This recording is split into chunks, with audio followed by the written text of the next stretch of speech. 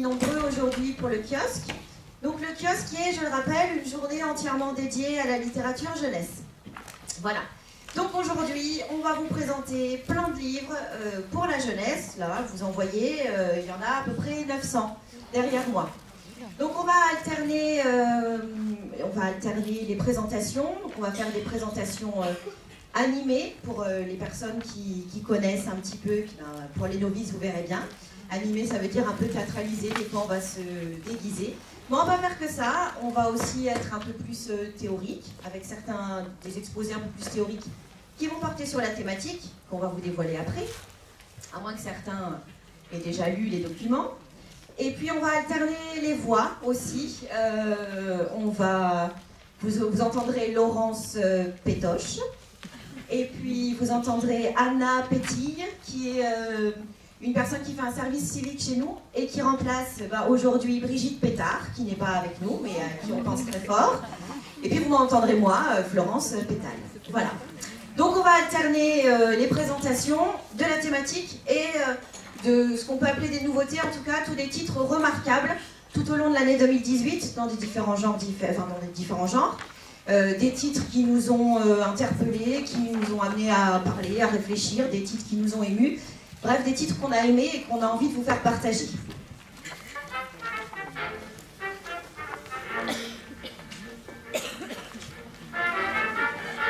Mesdames, messieurs, bonjour et bienvenue à cette nouvelle édition du kiosque jeunesse. Le kiosque jeunesse aujourd'hui entièrement dédié aux émotions. Et eh oui, oui, nous allons parler d'émotions. Mais pourquoi Pourquoi allons-nous parler des émotions? Et surtout, quelle est donc l'émotion? Qu'est-ce qu'une émotion? Eh bien, nous allons le découvrir ensemble, puisque nous avons avec nous aujourd'hui trois émotions. Et oui, elles sont là. Je vous demande de les accueillir dans un tonnerre d'applaudissements. Les émotions Approchez, approchez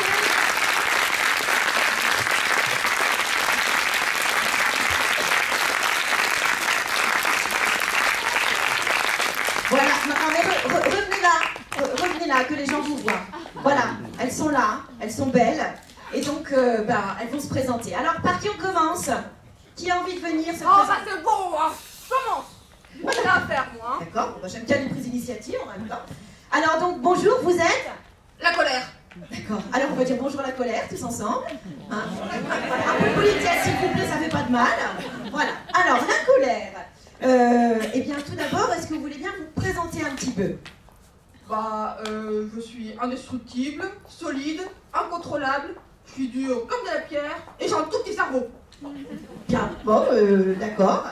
Alors, euh, j'ai avec moi des petites fiches et je vais vous poser quelques questions. Alors, première question, quel est votre jeu préféré? Le chamboule tout? Bien. Euh, quel est votre plat préféré? La cervelle bouillie. Bon, moi je n'ai jamais goûté, mais c'est sans doute très bon, hein, puisque voilà, c'est votre plat préféré. Et enfin, que détestez-vous par-dessus tout? Oh les bisous, oh les bisous, je supporte pas. Pourtant c'est sympa les bisous. Mais moi j'aime pas. D'accord, d'accord, d'accord, j'ai compris. Et alors, euh, petite question qui me brûle les lèvres là. Qu'est-ce que vous avez dans votre sac? Là? Ce sac là? Ah bah c'est un à gros mot. Je m'en sers à chaque fois que quelqu'un m'énerve et que je suis un court d'idées d'insultes. Vous voulez en entendre? Bah je sais pas, vous voulez en entendre un peu les... Je sais pas si c'est... Euh... Bon bah allez-y. Ventre acolique, euh, bachibouzouk, euh, anacolute, euh, traitement de bidet, un tortilleur tire-bouchon, et puis euh, j'ai aussi gigot en costume, bachibouzouk, et puis, et puis, faut oui, Mais merci, merci, je pense qu'on a bien compris. Merci la colère, on peut l'applaudir bien fort. Merci. Alors, j'appelle maintenant la peur. Non, non, la peur, c'est par ici, c'est par ici, c'est par là. Venez, venez, venez. Comment allez-vous? La colère m'a fait peur. Ah oui, c'est souvent ce qui arrive avec la colère. Hein. Bon, alors vous pouvez vous décrire un petit peu, vous présenter? Ben, J'ai souvent la chair de poule, et puis des sueurs froides, puis des jambes qui tremblent, puis j'ai les mains glacées. Ça ne va pas être facile tous les jours, hein, quand même. Hein. Euh, alors, ben, un petit jeu de questions, si ça vous... Oui? Ben, Je suis bien obligée, non? Oui, vous êtes obligée en même temps. voilà. Alors, euh, donc, ben, quel est votre jeu préféré? Faire la statue. Bah, bah, pourquoi pas, hein, en même temps. Quel est votre plat préféré? Le bouillon de poule mouillée. Bien Et euh, que détestez-vous par-dessus tout? Oh ben, les araignées, euh, les monstres, euh, les sorcières, les fantômes. Oh, mais tous ces gens-là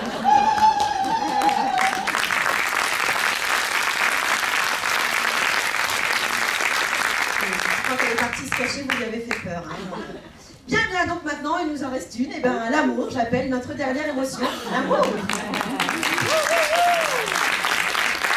Comment allez-vous? Très bien, merveilleusement bien. Mais attention, je ne suis pas une émotion en moi. Je suis un sentiment. C'est un peu plus. Eh oui, pas la même chose. Pardon. Alors, bah, présentez-vous un petit peu. Alors, euh, moi je suis légère, je suis souriante, j'ai toujours les yeux qui pétillent et j'ai des ressorts sous les pieds qui me font voler, sauter, virevolter. Voilà. Euh, euh, donc, des petites questions Euh, Oui, vous êtes obligé de toute façon. donc, euh, Quel est votre jeu préféré? Effeuiller une marguerite. Alors je t'aime peu beaucoup, passionnellement, j'adore ça. Ça rappelle notre enfance, Ah, hein voilà. Eh oui. Euh, quel est votre plat préféré? Alors là, c'est les pommes d'amour, ce rouge, luisant, fondant, cette pomme craquante. J'adore. Qu'on croque à deux, bien Et sûr. voilà, bien sûr. Et enfin, dernière question. Que détestez-vous par-dessus tout l'amour On me brise le cœur. Mais vous, vous inquiétez pas, on va pas vous briser le cœur. on va pas vous briser le cœur aujourd'hui. Non, parce qu'aujourd'hui vous êtes à l'honneur. Comme la colère et la peur à qui je vais demander de revenir. Revenez, revenez. Allez, on revient. Allez, la peur. Allez, hop, hop, hop.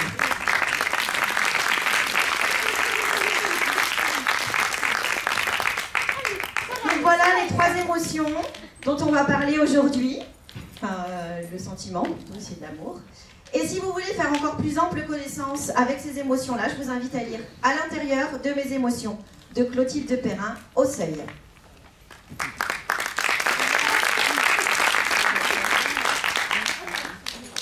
Bien, eh ben, on va commencer. Alors, je suis pas habillée comme ça euh, au naturel, hein, donc je représente quoi? Personne n'a deviné quelle émotion je représente avec cette présentation qu'on vient de faire. Voilà, merci, ah bah dis donc. Euh, je vais vous parler de l'amour tout autour dans, dans la bibliographie thématique. C'est à la page 20. Donc moi j'ai pour charge euh, de travailler sur l'amour. Et donc cette première partie s'intitule L'amour tout autour. Et je vais vous parler, vous proposer aujourd'hui de parler d'albums qui parlent de l'amour, l'amour qui entoure l'enfant, l'amour dont chaque enfant a besoin euh, pour grandir. Donc dans la bibliographie papier, vous trouverez des albums et des contes. Et là aujourd'hui, je vais vous parler, je vais vous montrer que des albums qui parlent donc de l'amour, euh, alors de l'amour familial nécessaire pour que l'enfant euh, se développe et pour qu'il s'épanouisse correctement. Mais il s'agit également de, de tout amour, de toute personne éprouvant de l'amour pour l'enfant qui vont graviter autour de cet enfant. J'entends par là les grands-parents, la fratrie, les amis de la famille, Bah, bref, tout l'entourage qui va être autour de l'enfant et qui vont participer à son éveil au monde, qui vont l'aider à grandir et à le rendre autonome. Donc sous ce mot amour, voilà, vous avez tous les mots euh, auxquels ça m'a fait penser. Donc tout ce qui est épanouissement, rendre autonome, aider à grandir, affection, développement, prendre soin. En fait, je suis partie de là en lisant un livre qui s'appelle Votre cerveau n'a pas fini de vous étonner. C'est un entretien, enfin vous avez cinq entretiens avec des, chercheurs euh, en psychologie, en neurosciences, et avec des études qui montrent que euh, tout enfant privé d'a- d'affection euh, présente en grandissant des, des atrophies de certaines parties du cerveau. Et manquer d'attention, manquer d'amour, manquer d'affection va créer une diminution des capacités à comprendre, à apprendre et à interagir avec les gens. A l'inverse, un enfant qui a reçu de l'amour et de l'affection euh, bah, va avoir des facilités plus importantes à communiquer avec les autres et sera en meilleure santé physique et psychologique. Donc, je vous invite à le lire. Ce livre, c'est euh, Votre cerveau n'a pas fini de vous étonner. Et donc, je suis un peu partie de ça euh, pour, parler de cette partie. Alors, un premier album que je vais vous présenter, qui s'appelle euh, Pour toujours, de Christian Demilly et Vincent Mahé, paru chez Actes Sud en 2018, qui est euh, pour moi un des véritables coups de cœur de l'année 2018. Et c'est un mélange d'albums et de bande dessinée sans texte qui nous offre trois histoires, trois histoires d'amour, trois histoires différentes. La première, c'est l'histoire entre une petite fille et son chien. La deuxième, entre une maman et euh, son enfant qui naît. Et la troisième, un couple qui se rencontre et qui décide de vivre ensemble. Ces trois histoires qui ont pour point commun l'amour, un amour différent, mais un amour que chacun espère infini. Malheureusement, la vie, elle n'est pas comme ça.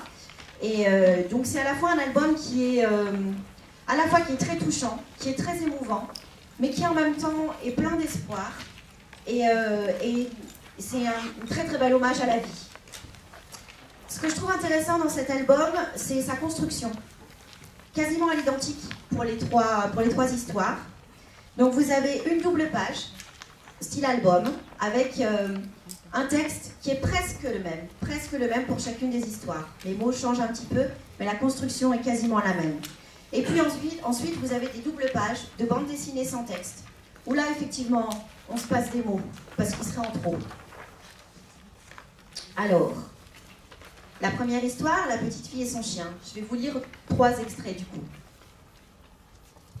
Toi, tu n'avais rien demandé. C'est moi qui t'avais demandé pour Noël, je m'en souviens. Quand je m'ennuyais, tu faisais la vie amusante. Mais ce que je ne savais pas, c'est que tu partirais un jour. J'aurais voulu que tu sois avec moi pour toujours. La deuxième histoire, la mère et sa petite fille. Tu n'avais rien demandé. Tu n'existais pas encore.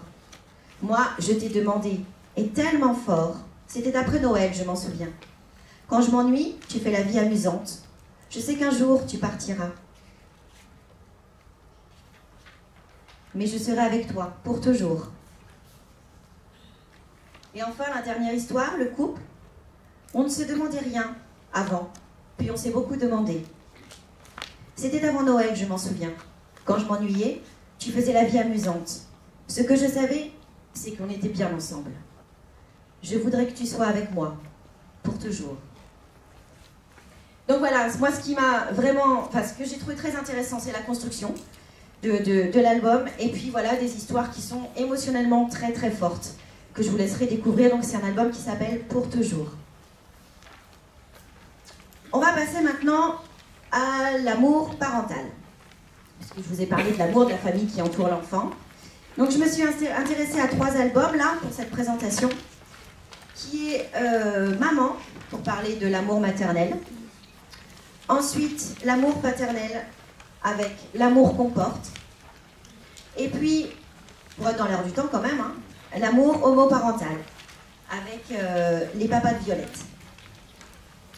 Alors, on va commencer avec Maman qui là aussi est un coup de cœur absolu de cette année, enfin de 2018. Un album grand format, comme vous pouvez le voir. Alors qui est magnifique par ses illustrations.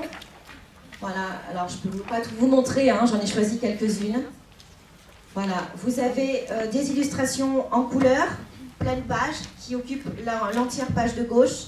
Euh, c'est de la peinture sur toile, on voit le grain de- la toile. Et sur la page de droite, euh, en dessous ou à côté du texte, vous avez des crayonnés en noir et blanc. Et toutes ces illustrations, elles ont pour but de montrer le lien très fort entre une mère et son enfant. Et euh, ce qui est remarquable, c'est que toutes les cultures sont représentées.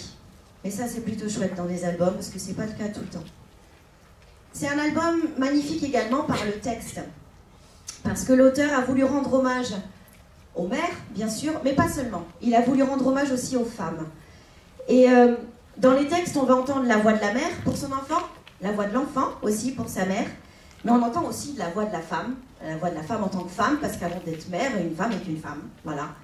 Donc je vais vous montrer euh, deux lectures. Alors, la première.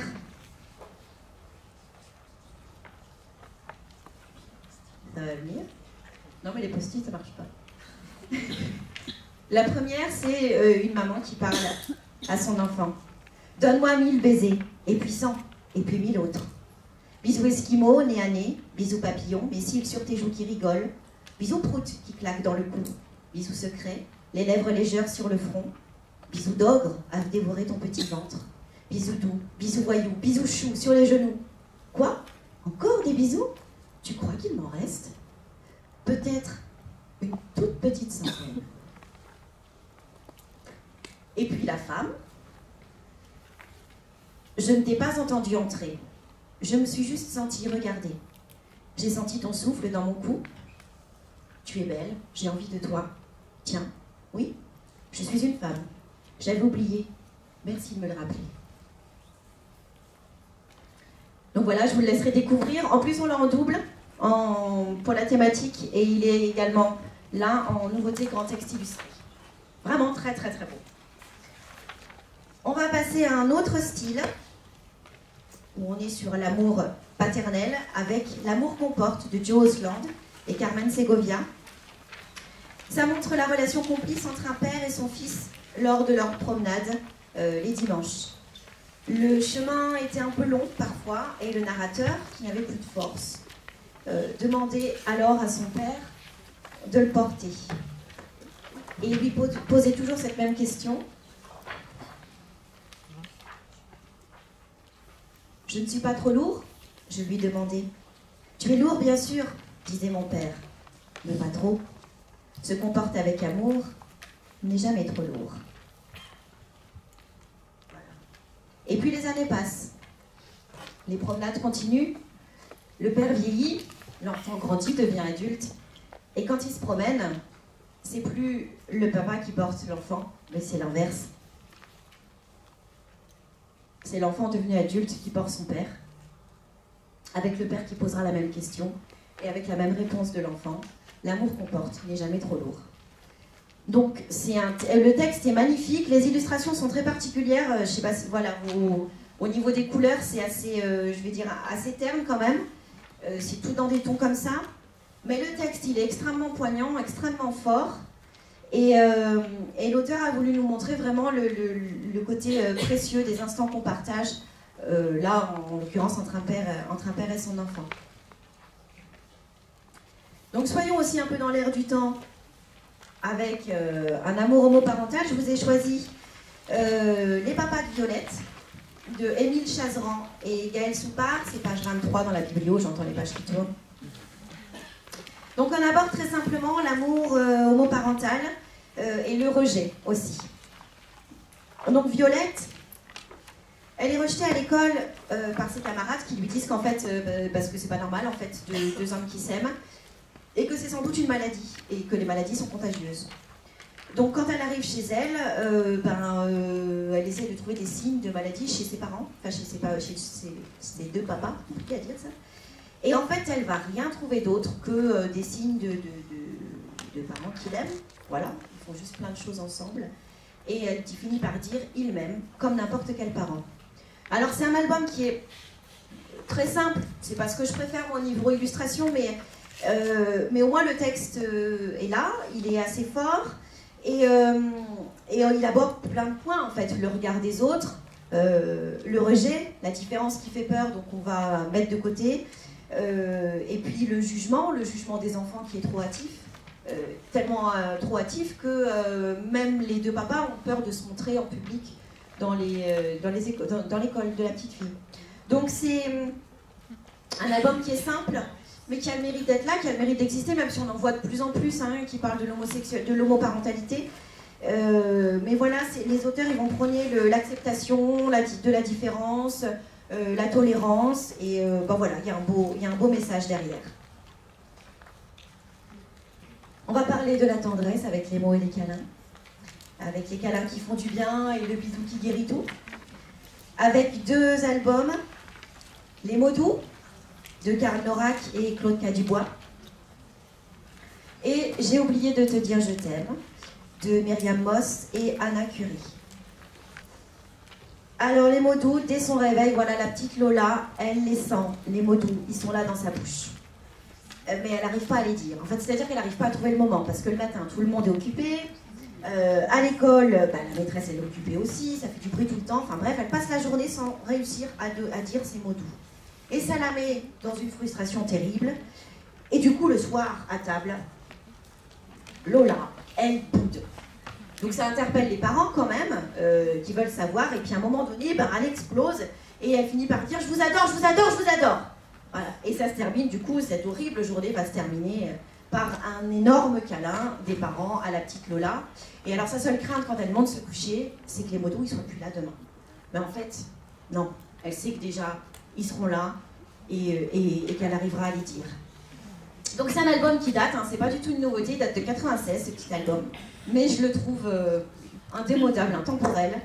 Et euh, tellement proche de la réalité, il montre bien la difficulté qu'on peut avoir à partager ses sentiments, à les avouer, à les dire, et le poids qu'on peut ressentir quand on, quand on ne les dit pas. Et puis ça montre aussi que le, le cadre euh, d'amour, le cadre affectif rassurant est là nécessaire pour que l'enfant aille bien. D'autres euh, mots aussi, avec j'ai oublié de te dire je t'aime. Euh, on a un Billy. Bah, là, Billy, c'est un matin qui est pas terrible pour lui parce qu'il veut pas s'habiller, il veut pas se laver, il veut veut rien faire. Enfin, c'est pas lui, c'est son toutou. Son toutou, il veut rien faire ce matin. Et c'est compliqué parce que sa maman, elle est, euh, bah, speed, hein, euh, comme tous les matins. Elle lui parle, elle dit Viens, habille-toi, viens prendre ton petit déjeuner, fais ci, fais ça. Voilà, on est sur un- ah, là, on n'est pas dans un vocabulaire très, euh, très soutenu, hein, on est plutôt dans, voilà, dans des trucs, dans de l'impératif. on est agité, tout ça, et ça contrebalance avec le besoin d'affection que ressent le petit Billy. Et il arrive à la garderie, ce petit Billy, alors là c'est encore pire parce que bah, euh, il n'a pas son doudou. Où est passé le doudou? Il l'a perdu en route. Et en plus, alors le pire du pire, c'est que sa maman est partie sans lui dire je t'aime. Alors là, voilà, vous voyez le petit Billy, il va pas bien du tout là. Mais heureusement, on est quand même dans un album pour enfants, hein, donc ça va bien se passer. La maman va se rendre compte de son erreur, de son oubli du doudou, va faire demi-tour, lui faire un énorme câlin et lui glisser un petit je t'aime à l'oreille. Donc c'est des mots très simples, euh, des illustrations qui sont très très douces, euh, qui contrastent un peu avec le drame que vit le petit, le petit Billy, parce que c'est un vrai drame quand même ce qu'il vit là. Et, euh, et ça montre aussi, c'est un album qui montre ben, que l'amour, l'amour des parents, là en l'occurrence celui de la maman, mais l'amour des parents est toujours là.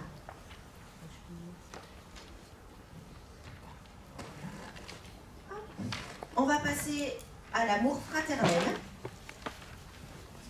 Et je vais vous parler de jalousie et d'entraide avec deux titres encore. Alors, jalousie avec Vous êtes tous mes préférés de Sam Mabrakné et Anita Géram, qu'on connaît, que peut-être vous connaissez plus pour leur duo dans Devine combien je t'aime. Et puis un autre, euh, un autre album qui s'appelle À tout petit pas de Simon James. Alors, vous êtes tous mes préférés. Voilà une famille ours. Un papa, une maman, trois oursons.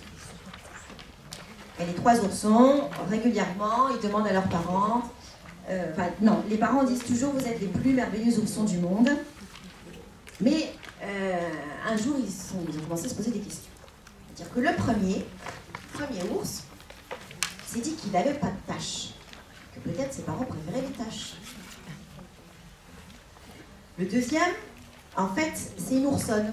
Il se dit que peut-être les parents préfèrent les garçons. Et le troisième, bah, c'est le plus petit, mais vraiment le plus petit en taille. Donc il se dit que peut-être les parents préfèrent les plus grands. Donc ils vont voir euh, le papa et ils posent, ils disent c'est pas possible que tu nous aimes tous les trois autant. Lequel de nous trois aimes-tu le plus? Alors je vais vous lire les réponses du papa. Toi, lorsque ta maman t'a vu, raconta-t-il en soulevant le premier ourson, elle a dit C'est le premier bébé ours le plus parfait qu'on ait jamais vu. Même sans taches. Les taches n'ont aucune importance, répondit papa ours en serrant le premier ourson contre lui. Toi, quand maman t'a vu, raconta-t-il en soulevant l'oursonne, elle a dit C'est le deuxième bébé ours le plus parfait qu'on ait jamais vu. Même si je suis une fille.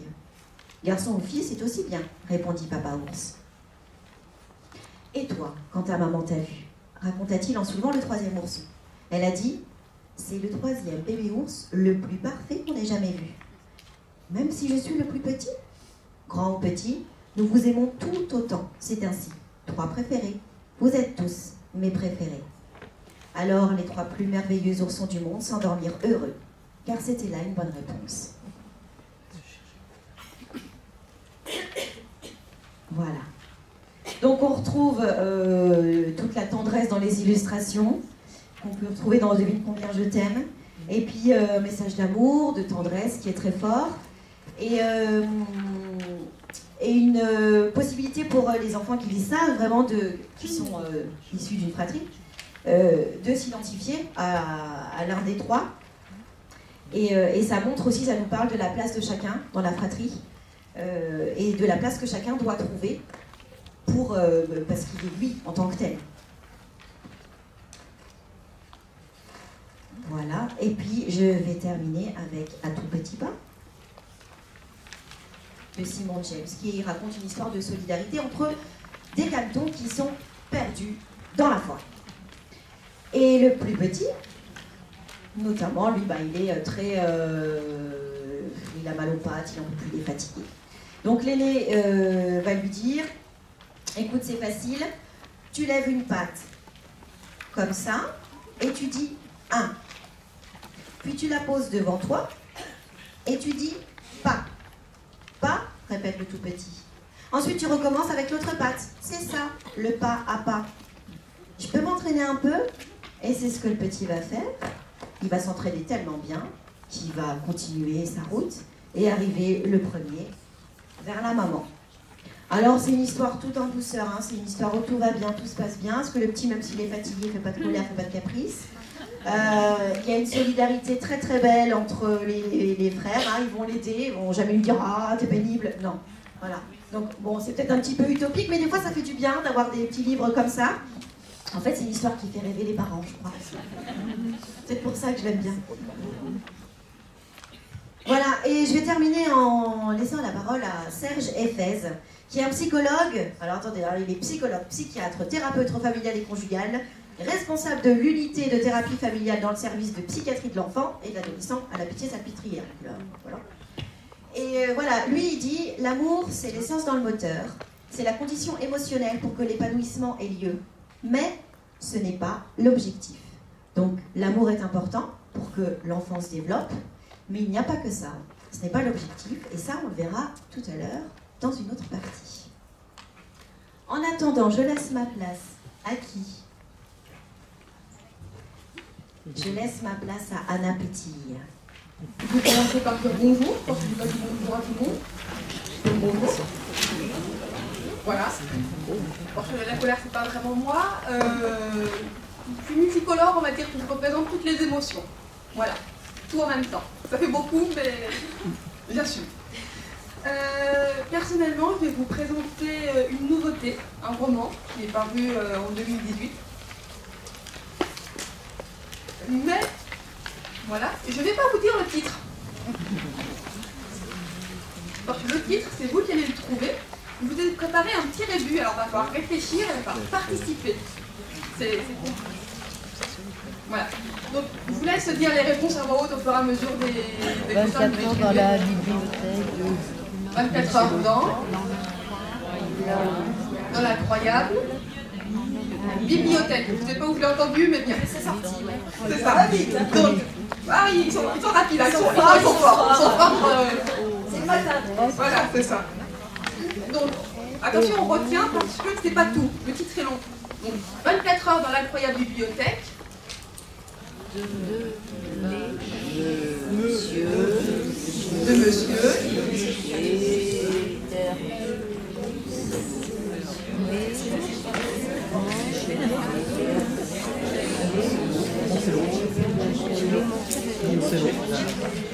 Alors, je m'entends les, c'est bien ça, les, mon, c'est. Donc, monsieur Léon Cello. Alors là, c'est un nom propre, c'est plus compliqué, mais vous y êtes arrivé très très bien quand même. hein. Donc, 24 heures dans l'incroyable bibliothèque de monsieur Léon Cello. Qui est celui-là. Voilà. Par contre, ce que je vous ai pas dit, c'est que c'est une série. Donc, il y en a un deuxième.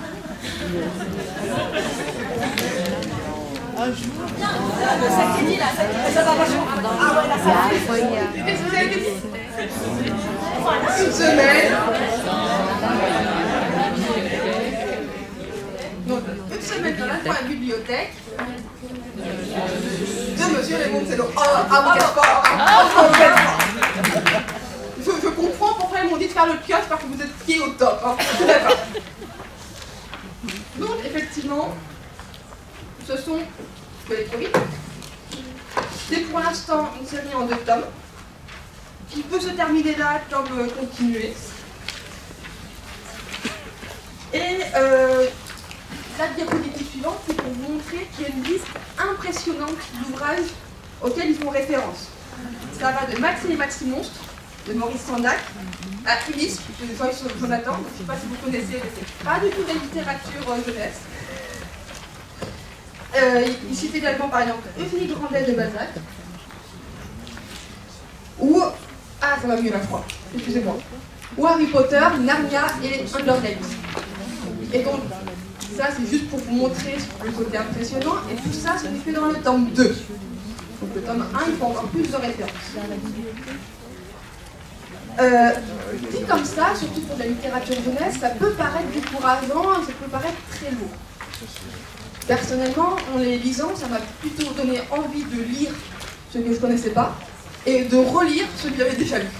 Genre, je utilise des petits détails, des choses dans le style qui, voilà, qui intriguent vraiment. Voilà, donc là, c'était gentil de noter les, les références parce que quand même.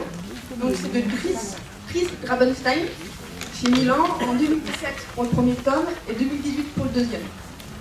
Et donc en fait, le premier tome, ça raconte l'ouverture d'une bibliothèque dans une petite ville des États-Unis. Et euh, il y a un grand concours pour être les premiers à rentrer dans la bibliothèque et à la découvrir, parce qu'on raconte plein de choses fantastiques sur cette bibliothèque. Il y aurait des robots, il y aurait des hologrammes, il y aurait des jeux vidéo, enfin plein de choses comme ça assez folles. Et euh, le personnage principal finit par euh, participer à ce concours sans trop le vouloir. Et forcément, il fait partie des gagnants et il passe la nuit dans cette bibliothèque. Si je vous ai fait faire la charade, enfin le rébut en début de, de présentation, c'est aussi parce que tout au long de cette, euh, ce livre, enfin, des deux livres, il y a des rébus, il y a des charades, il y a des énigmes, il y a plein, plein, plein de jeux vraiment autour de la bibliothèque, autour du livre. Il y a choses qui pourraient sembler aussi euh, très secs et très difficiles enfants, mais qui passent très très bien. Il y a plein de jeux autour de la Dewey. Ah, et puis des choses très très pointues qui vont ap- après trois points après la virgule. Mais euh, vraiment, je trouve que ça, ça se comprend tout seul, c'est très bien inséré et c'est très compréhensible. Et donc, si je voulais. Donc voilà, je pense que c'est quelque chose très bien pour, euh, du point de vue d'un enfant, parce qu'il y a de l'aventure, des énigmes, voilà, il y a de la compétition, des trahisons. Enfin voilà, c'est vraiment super. Mais je pense que c'est bien. Enfin, c'est sympathique à lire aussi du point de vue bibliothécaire, surtout le tome 2, parce qu'il y a tout un débat autour du futur des bibliothèques. Est-ce qu'une bibliothèque, ça doit être simplement des livres dans le silence Ou est-ce qu'au contraire, comme dans cette bibliothèque fabuleuse, enfin incroyable, est-ce qu'il peut y avoir des hologrammes Est-ce qu'il peut y avoir des jeux vidéo Est-ce qu'il peut y avoir euh, des robots Est-ce qu'il peut y avoir euh, toutes ces choses-là contre euh, et certaines personnes de la ville ne sont pas d'accord et protestent contre. Donc je pense que même pour nous en tant que bibliothécaires, ça peut être très sympathique à lire et euh, voilà, à réfléchir autour.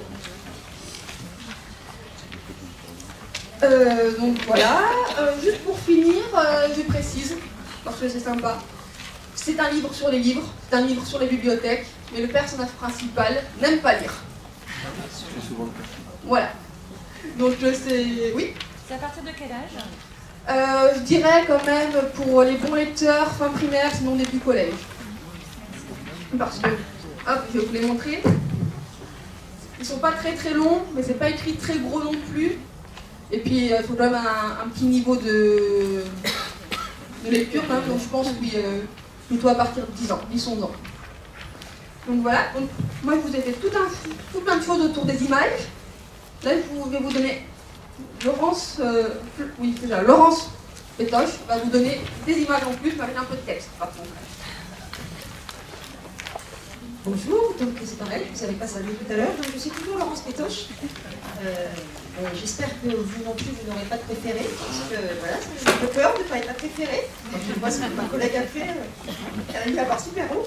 Donc moi je vais vous parler des bandes dessinées et de la peur dans les bandes dessinées.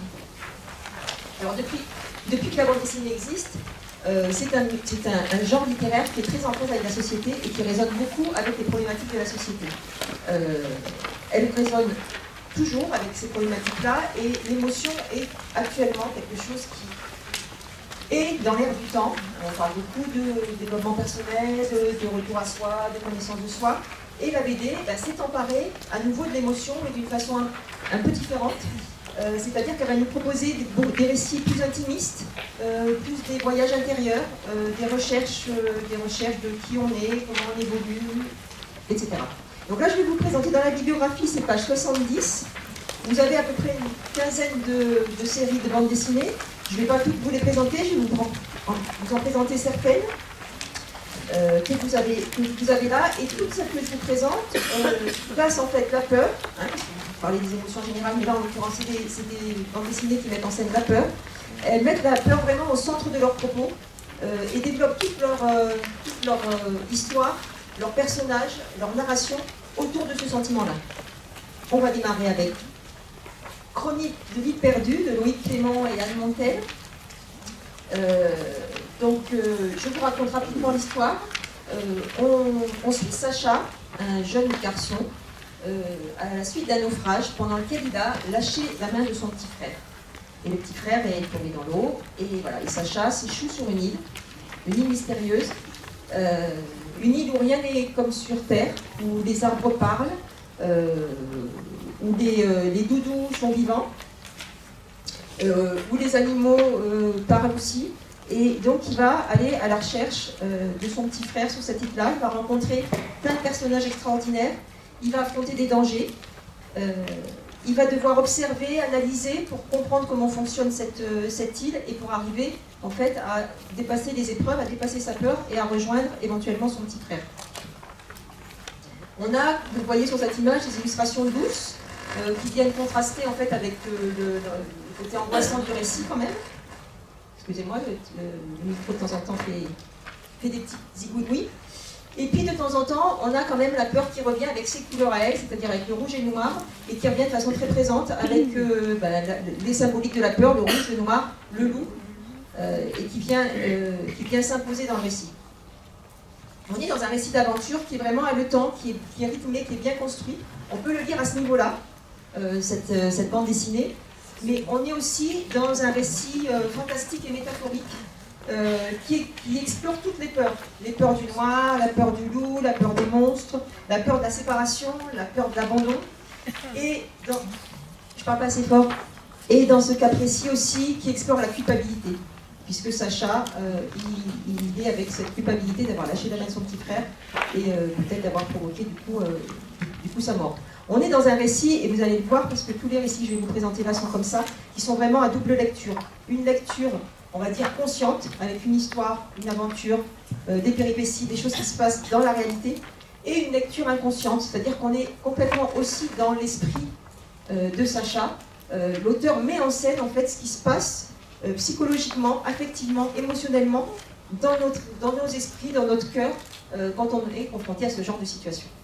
Donc c'est vraiment des, des- des- des bandes dessinées très puissantes. Alors toujours on vous présente, quand on vous présente des livres de jeunesse, on le dit toujours, c'est toujours le même discours, le livre de jeunesse c'est à partir d'un certain âge, il n'y a pas de limite. C'est jusqu'à jusqu'à euh, qu'on ait, qu'on- qu'on ait plus envie de les lire. Euh, mais là c'est particulièrement, particulièrement vrai, et on vous présente aussi toujours des livres où il y a deux niveaux de lecture, c'est-à-dire un niveau de lecture pour l'enfant avec ses préoccupations, et un niveau de lecture un peu plus profond euh, avec euh, des choses qui peuvent résonner auprès de l'adulte qui lui lit l'enfant, qui lui lit le livre, excusez-moi, quand c'est un album, ou auprès, euh, voilà, ou quand on grandit, quand on grandit, qu'on devient adulte. Donc voilà pour cette première histoire. On va complètement changer d'univers avec le Collège Noir de Ulysse Malassal, qui est aussi un récit d'aventure et un récit fantastique qui mêlent vraiment action et imagination. Donc là, on n'est plus du tout dans, dans le même univers graphique. On est dans des couleurs très très euh, très sombres qui sont aussi euh, très en résonance avec la peur. On va être dans des rouges, dans des, bleus, dans des verts, dans des pourpres. Euh, on a des cases bien délimitées. Là, hein, on ne dépend pas tellement du cadre, à part, les- le, texte et les bulles. Et on est dans un collège pendant la période estivale.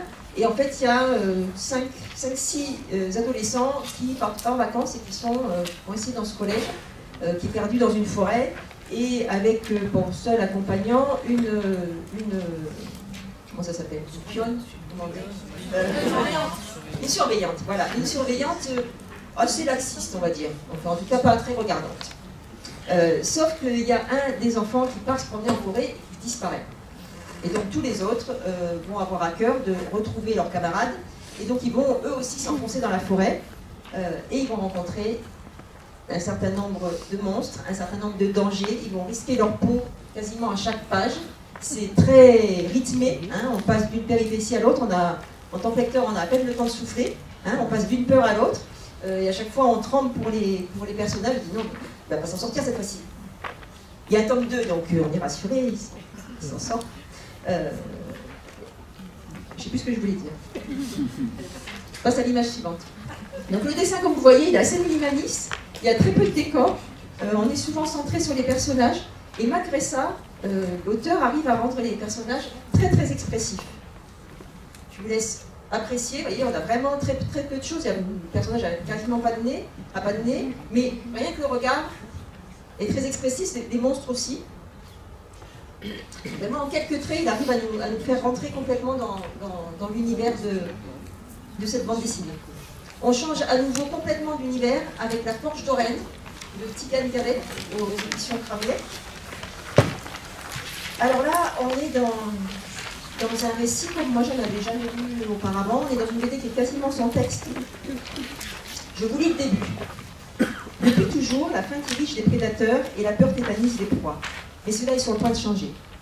Et on va suivre en fait, euh, tout au long du récit, deux Marthes, qui sont les seules survivantes de leur tribu, et qui sont à la poursuite d'un espèce d'Eldorado mythique, dans lequel euh, elles ne seraient plus euh, la proie des prédateurs, dans lequel elles n'auraient plus peur, elles ne seraient plus obligées de fuir, elles ne seraient plus obligées d'être en permanence sur leur garde. Bien évidemment, pour y arriver, elles vont traverser une forêt. hein, la forêt, déjà tout à l'heure, était aussi était dans les symboles des, environnements qui font peur. Là aussi, on est dans une forêt, vont bien évidemment rencontrer des, des difficultés. Euh, là, par contre, il y a très peu d'action. Euh, on est dans quelque chose qui, a- qui se dilue, qui est assez dilué, et en même temps qui vous prend, tellement au, trip que vous vous en rendez pas compte. Vous avez l'impression d'être dans un récit très, rythmé, très haletant, alors qu'en fait, quand vous regardez à la fin, il ne s'est pas passé grand-chose. Mais on rentre complètement dans la problématique des personnages. On est dans quelque chose qui est assez philosophique. Donc c'est vraiment une bande dessinée à lire au premier comme au second degré, parce qu'on peut, la mettre en parallèle avec des préoccupations actuelles, euh, avec euh, bah, notamment euh, voilà, tout ce qui pourrait être écologiques. Euh, on peut aussi être à la recherche, il y a des gens qui sont à la recherche d'un Eldorado peut-être mythique en s'enfonçant dans les forêts, en, en- réinvestissant un mode de vie naturel. Enfin bon, il y a- il y, a beaucoup de choses dans cette bande dessinée qui résonnent avec les préoccupations actuelles.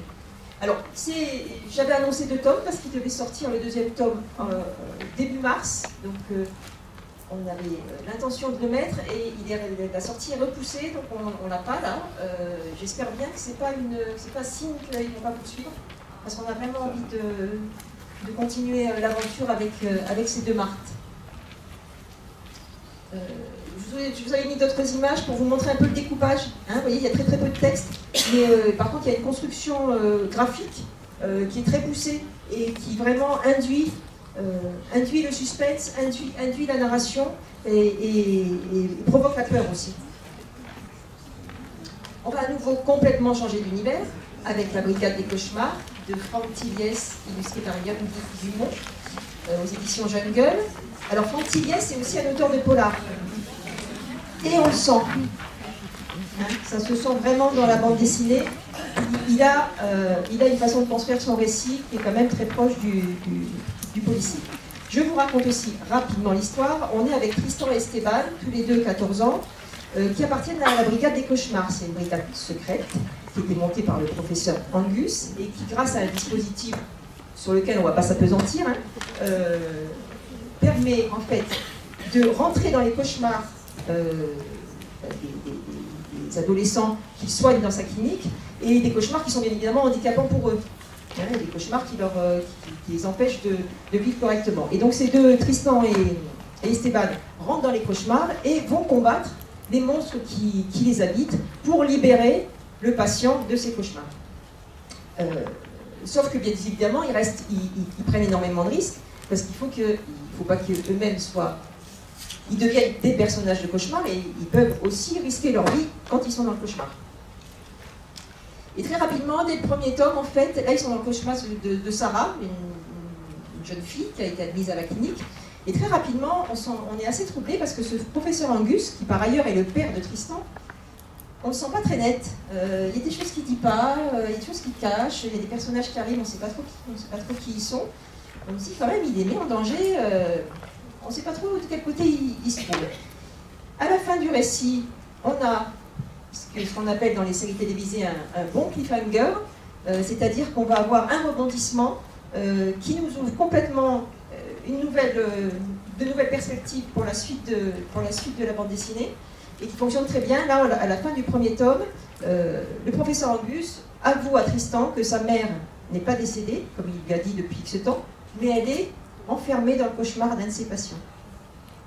Ce patient qu'on avait vu apparaître auparavant, c'est- là, on s'était dit, c'est quoi cette histoire, c'est quoi ce, garçon qui est enfermé? Euh, Il n'est pas net, le professeur, le professeur Angus, et en fait, il le retient prisonnier, effectivement. Dans le deuxième tome, que là, on a réussi à voir, et qu'on a lu euh, tout de suite, euh, ben, la même chose, Sarah, cette fois-ci, ça y est, a été li- libérée de ses cauchemars, elle est rentrée dans la brigade des cauchemars, sauf qu'elle n'est pas encore euh, très très au point, et que dans la deuxième aventure, du coup, euh, voilà, ils prennent encore plus de risques parce qu'elle fait un peu n'importe quoi, Sarah. Et on est dans le cauchemar de Nicolas cette fois-ci. On imagine qu'il va aussi intégrer la brigade peut-être au prochain tome. Euh, et là, à la fin, il y a à nouveau un cliffhanger. Non, non, je ne dis pas. Florence a peur que je le dise. Non, non, je ne dis pas parce que alors là, l'une et l'autre, pourtant, voilà, on avait vu la première, on a étudié la, la bande dessinée, on s'est penché dessus, donc on avait l'impression d'avoir une espèce d'expertise dessus. On s'est fait avoir comme des bleus, quoi. Euh, à aucun moment on ne s'attendait à cette fin qui ouvre à nouveau, qui va complètement changer la perspective du, récit et qui vraiment on n'a qu'une envie, c'est. Donc il est très fort, il est très fort en polar, mais il est aussi très fort en bande dessinée. Là on va arriver, on va arriver à ma chouchoute. Alors je vous l'ai déjà présenté quand on a fait cette BD, je vous l'ai présenté en coup de cœur nouveauté une autre fois. On arrive à, à l'œuvre de Séverine Gauthier, qui est un auteur. Euh, quand je vous disais tout à l'heure que les bandes dessinées explorent vraiment euh, l'intériorité, les voyages intérieurs, la, connaissance de soi, etc., les émotions, Séverine Gauthier, toute son œuvre, toute son œuvre est là-dessus, en fait. Toute son œuvre est une œuvre vraiment intimiste, subtile, euh, et qui explore en fait les émotions et la façon dont, dont- euh, donc dans Aristide du Nord, en fait, euh, Aristide il a peur du noir, il a peur de s'endormir. Et donc euh, tous les soirs il affronte, euh, il affronte cette peur du noir et cette peur de l'endormissement. Elle est, elle est accompagnée à chaque fois, Céline Gauthier c'est la, la scénariste, elle est tout le temps accompagnée par un illustrateur différent. Là elle est accompagnée par euh, Jérémy Almanza, qui pour moi convient très bien à ce récit-là.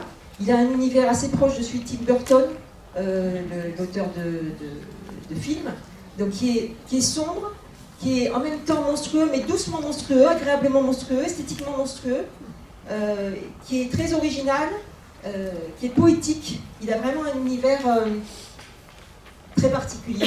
Je vous montre, je vous montre là. Et le texte, étonnamment, est un texte en alexandrin. Donc moi d'habitude, je raffole pas trop des textes en alexandrin, je trouve que ça, ça met quelque chose d'un petit peu artificiel dans la narration et dans le récit. Là pas du tout en fait. Ça va très très bien avec, euh, avec la narration. Je vous lis le, le- le- le- les premiers vers. Chaque soir c'est pareil, le cortège infernal, le défilé des monstres et leurs chants sépulcraux. Aristide lutte tout seul contre un ennemi fatal. Il surveille les monstres, repousse leurs assauts. Car Aristide a une peur, car Aristide, excusez-moi, a une peur bleue du noir. Voilà, et on continue, et tout le texte est en alexandrin et en rime, du début à la fin. Donc Aristide, il va bien évidemment affronter du coup ces monstres qui envahissent, qui envahissent le noir et qui envahissent la nuit. Euh, et en fait, euh, la bande dessinée euh, va nous apprendre que affronter ses peurs, c'est pas forcément les détruire, c'est pas forcément les anéantir, mais c'est s'en faire des amis, des compagnes que l'on comprend et que l'on accepte. Donc comme vous voyez, l'univers graphique, peut-être pas suffisamment apesanti, on est à nouveau dans des couleurs assez proches des couleurs associées à la peur, dans les pourpres, dans les violets, dans les verts. Euh, et en même temps, on est quand même, l'ensemble donne une impression assez douce, assez apaisante. Euh, on est dans des harmonies, il n'y a, rien de distordant, on est dans quelque chose d'apaisant. Il y a très souvent, en fait, quand on, dans les, les, albums ou les bandes dessinées qui mettent en scène la peur, comme on a au niveau de la narration et du propos quelque chose d'assez difficile, il y a très souvent un équilibre qui est, euh, qui est fait avec le graphisme et qui permet euh, d'apaiser en fait euh, le discours et les choses qui sont dites dans la bande dessinée. On va rester encore avec Céline Gauthier, parce que quand je vous dis que c'est ma chouchoute, c'est ma chouchoute. Hein. et donc là, on va aller retrouver Epiphanie, qui a 8 ans et demi. Et voici sa peur à Epiphanie, qui a 8 ans aussi. Alors en 8 ans, Epiphanie n'a pas beaucoup grandi, mais sa peur, si, elle a beaucoup grandi. Elle a tellement grandi cette peur qu'elle euh, est devenue très handicapante pour Epiphanie, qui ne peut plus vivre avec. Donc vous la voyez, elle est, euh, euh, dessinée, elle est symbolisée, elle est représentée par un gros monstre, qui est son ombre en fait. Et Epiphanie, voilà, cette peur est tellement handicapante qu'elle a décidé de s'en débarrasser. Et pour s'en débarrasser, elle a décidé d'aller trouver des personnes ressources. Donc elle va, elle va dans une forêt aussi, euh, on rentre, c'est assez en résonance avec le monde d'Alice au Pays des Merveilles. Il y a vraiment des, parallèles qu'on peut faire entre euh, le texte d'Alice au Pays des Merveilles et cette bande dessinée. Cette fois-ci, elle est associée au, dessin avec Clément Lefebvre, qui développe vraiment tout un univers euh, très délicat, assez précis et subtil. En fait, il y a plein de petits détails à regarder dans les illustrations, souvent très symboliques. Euh, ou, qui sont euh, des clins d'œil à des œuvres littéraires euh, ou à des personnages qu'on connaît. Et on a un texte qui est très simple, qui est direct, qui est fluide, qui n'est pas du tout difficile en termes de compréhension. Cette bande dessinée, elle met en scène, comme je vous le disais, de façon métaphorique, symbolique, tout un univers imaginatif qui est très riche, et on parcourt avec Épiphanie le chemin intérieur qu'elle fait pour apprivoiser sa peur et la vaincre. Il nous rappelle aussi, cette bande dessinée, elle nous rappelle que quand on est confronté comme ça, nous, individus, euh, enfants ou adultes, euh, à quelque chose qu'on a du mal à, dépasser seul, euh, eh ben, il y a des personnes qui peuvent nous accompagner, les personnes ressources, elles sont là, mais qu'elles nous accompagnent, mais que le chemin, c'est quand même nous qui parcourons. Et donc là, c'est très, très, c'est vraiment dit. Je ne sais pas si Séverine Gauthier est, psy ou si elle a fait 15 euh, ans de psychothérapie, mais dans ces bandes dessinées, on est quand même souvent très très proche des, des processus psychothérapeutiques qui peuvent, être, en, œuvre euh, quand on travaille sur soi et quand on, cherche à comprendre ses émotions et à les, et à les apprivoiser. Donc là, on est chez le psy, par exemple. Vous voyez, personnages euh, complètement monstrueux, mais, euh, mais en même temps tendrement monstrueux. Vous le donneriez pour quel âge de lecture? Moi, je pense qu'à partir euh, de l'âge d'épiphanie, c'est bon, 8-9 ans. Parce que, comme, comme, je vous le disais tout à l'heure, en fait, bon, moi, je vous donne une analyse un petit peu avec un peu de recul, mais il y a une lecture, il y a une lecture euh, de l'aventure. Parce qu'on rencontre des gens, on rencontre des, gens, un cirque, il va se passer des tas de choses. Donc on n'est pas obligé d'avoir cette lecture, cette double lecture en fait. Hein, l'enfant, il peut avoir une lecture euh, un peu comme dans les contes. Dans les contes, vous avez une lecture au, premier degré, vous avez une lecture euh, symbolique, métaphorique auquel l'enfant accède s'il est confronté à ce qui est en œuvre dans le conte, auquel il n'accède pas s'il n'est pas confronté. Euh, et l'adulte pareillement d'ailleurs, hein, euh, les adultes pareil ne vont pas forcément voir le symbole quand ils ne sont pas confrontés à, la situation. Donc là, il y, a toujours au premier degré, alors j'insiste pas dessus parce que voilà, c'est des péripéties, vous lirez la, bande dessinée, mais il y a toujours au premier degré une histoire qui se lit comme ça et dans lequel on n'est pas obligé de voir tout ce que je vous raconte là. euh, voilà, tout ce que je vous raconte. Et donc du coup, Epiphanie, ben, va avoir plein de personnes ressources, mais finalement c'est elle qui va trouver la force de, combattre sa peur. Et, elle lui dit, maintenant c'est terminé, je n'aurai plus peur de toi. Tu dois me suivre comme mon ombre. Et tu sais ce que ça veut dire? Ça veut dire que c'est moi qui suis devant. C'est moi qui prends les décisions, pas toi. Ça ne peut plus être toi. Je ne veux plus avoir peur. Voilà, il se prend vraiment en main et réaffirme Je ne changerai pas d'avis. Si tu n'es pas prête, tu ne veux pas, alors tant pis. Je crois qu'il vaut mieux que nous nous séparions. Très bien, comme tu veux. Et vous voyez, là aussi on a des symboliques, hein, parce qu'elle était reliée par un, un fil à sa peur. Hein, parallèle avec le cordon il est quand même assez vite fait. Euh, elle le sépare, la peur boude, parce que la peur, ben, elle a cette épiphanie quand même. Et c'est un, im- immense monstre, hein. Et cette peur, elle va se rapetisser, se rapetisser, venir comme un enfant. Et elle va rattraper Épiphanie, et Épiphanie va partir sur le chemin de la vie avec sa peur qui l'accompagne, mais dont elle est maintenant la maître, la maîtresse, qu'elle maîtrise en tout cas, et qui est juste son amie, qui va l'accompagner, parce que cet album vient nous dire aussi de façon symbolique que nos émotions, quelles qu'elles soient, que ce soit l'amour, c'est plus plaisant, ou la peur, c'est plus désagréable, elles nous appartiennent, elles sont toujours légitimes, elles sont en nous et elles nous accompagnent de toute façon.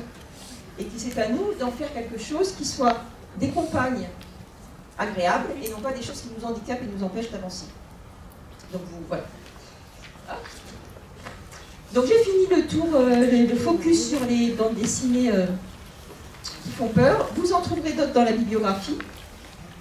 Ils sont en train d'arriver là, de- de- rebondir sur, sur mon écran. Euh, N'hésitez pas à les découvrir, elles sont là, ben, c'est les premières qu'on voit là tout au, tout au bout. Euh, elles sont sur l'étape de présentation. Et en attendant d'aller les découvrir, je vous invite à retrouver Florence Pétal euh, pour un moment d'amour contrarié cette fois-ci.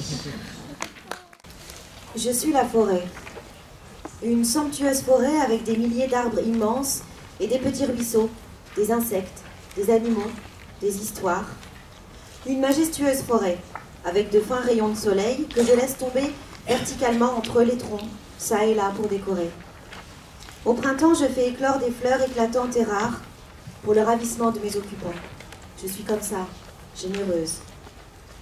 Je suis contente aujourd'hui de bavarder un peu. Je sens que vous m'écoutez, que vous vous intéressez à moi. Et du coup, vous n'allez pas vous ennuyer non plus parce que je vais vous raconter l'histoire d'un de mes loups.